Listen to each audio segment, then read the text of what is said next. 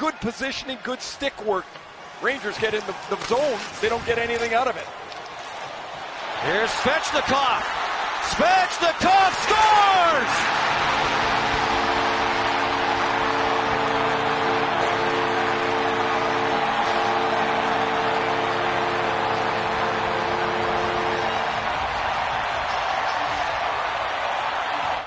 Svechnikov's got six shots tonight. Here he positions Adam Fox in the middle of the ice, chips it by him, and then Svechnikov pulls open the legs of Shesterkin, slides it through. We talked at the top of the show, Sean.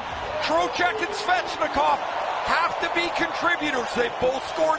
Советую всем подписаться на мой телеграм-канал о хоккее, так как блокировка Ютуба вполне вероятна, если таки блокировка произойдет. Все лучшие моменты наших игроков в НХЛ и главные хоккейные новости будут выходить в моем телеграм-канале. Подписывайтесь, ссылка в описании.